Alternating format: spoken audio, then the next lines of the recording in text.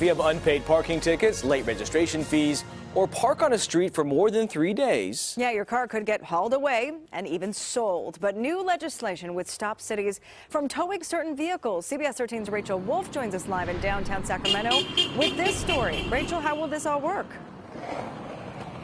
Well, you know how it goes if you're in downtown Sacramento. You got to be careful where you park. There's so many rules and regulations, too many tickets, and you can be towed. But a new bill would ban towing in a handful of cases. The goal to keep the poor from being penalized.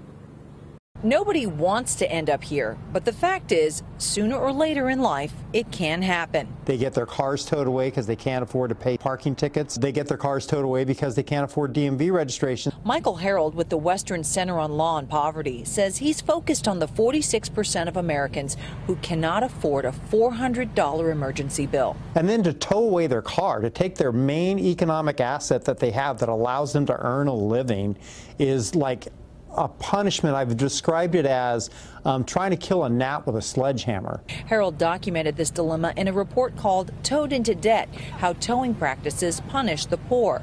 California Assemblyman David Chiu took that information to heart. The fact that's, that, that we have a law on the books that tries to collect for these minor debts is literally putting people into a spiral of poverty. He wrote AB 516, which bans towing for things like unpaid parking tickets or unpaid registration, or parking on the street for more than 72 hours when drivers cannot afford private parking. He feels the legislation will drive cities to pursue other collection means, including affordable payment plans. Cities are losing tens of millions of dollars on their towing programs because they're going after folks for these minor debts, but they're actually not collecting these minor debts. Back out here live, this bill would not ban towing for traffic and public safety enforcement, meaning like if you were to park right here next to this, you could get towed. Now, this is past the assembly. It's now going before the Senate. A lot of people talking about this, trying to keep the poor out of the poorhouse. Yeah, those towing prices are very steep. So we'll follow this. Thank you so much, Rachel.